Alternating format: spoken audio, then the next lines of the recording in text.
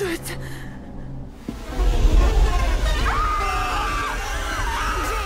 Очень атмосферный ужастик, возможно слишком медлительный и медитативный для рядового ценителя ужастиков, зато это единственный фильм в своем роде. Джей, она же Майка Монро, отдается своему парню на заднем сидении машины, но сразу после секса юноша меняется. Он предупреждает девушку, что только что передал ей очень странное проклятие и теперь за ней повсюду будет следовать жуткое создание, принимающее формы самых разных людей.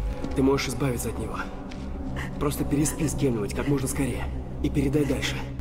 Существо это медленное, но настойчивое и совсем не глупое. Единственный способ обезопасить себя – передать проклятие дальше, занявшись кем-нибудь сексом. Фильм «Оно. Следует за тобой» получила мощный сарафанный пинок еще на самом старте. Первые, посмотревшие картину на различных кинофестивалях, хором отзывались о ней как о необычном и умном хорроре. Так что к тому моменту, как фильм добрался до кинопроката, о нем уже были наслышаны. Все в порядке?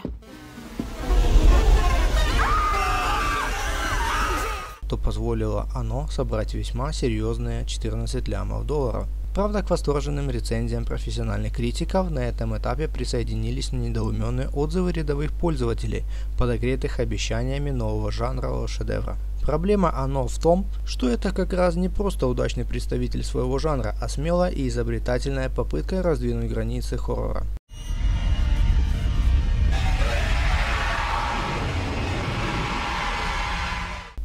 Сведя к минимуму обычные рычаги воздействия на зрителя – бу, моменты, энергетику, кровь. И сделав ставку на атмосферу. Фильм, как его главный злодей, неторопливый и прилипчивый. В свои лучшие моменты оно напоминает великий кошмар на улице Вязов. В монстре, который следует за главной героиней, многие поспешили увидеть метафору венерических болезней, хотя попытка проанализировать фильм именно с этой точки зрения упрощает и даже ошеломляет и даже опошляет его.